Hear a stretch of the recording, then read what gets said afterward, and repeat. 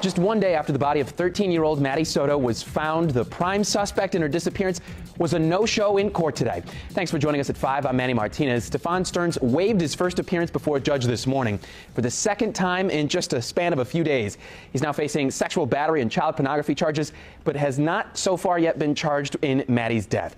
Fox 35's Matt Trezza explains why more charges could be on the way. Stephan Sterns was a no-show for his first appearance in Osceola County Court. His lawyer didn't even want the judge reading out the charges. Stephen Sterns? Or Your Honor, Your Honor, at this time, I am going to waive Mr. Sterns' appearance. I'm also going to waive the reading of these charges. Mr. Sterns is aware of what he's been arrested for. At the first appearance, Sterns faced charges including sexual battery and possession of material depicting sexual performance by a child. Sterns had voluntarily handed his phone to investigators who managed to recover photos and videos that they called disturbing.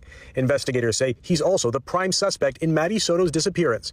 Search teams finally recovered Maddie's body Friday evening after an exhaustive search through the woods in Osceola County. The judge said Sterns would stay behind bars. Understood, sir. You got zero bond and 24 CF 632. Good luck to you.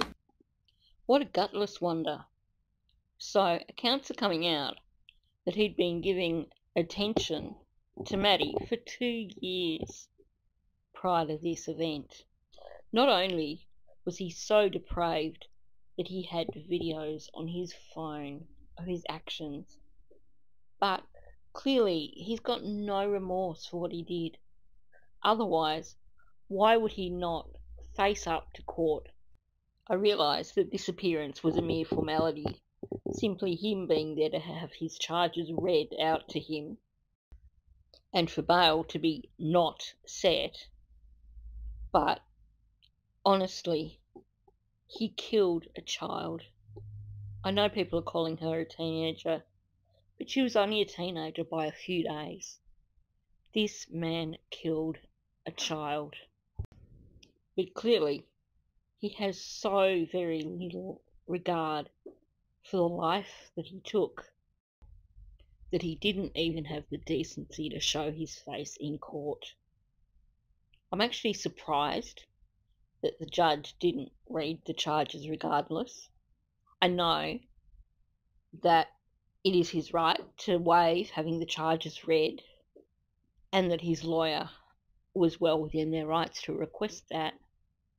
But I think the judge is a better person than I am. Had I been the judge, I would have insisted on reading out those charges. I did, however, quite like and very much appreciate the way, after saying, You've got no bond, the judge then said, Good luck to you. So, yeah, Sterns, good luck to you. You deserve every single thing that is coming your way.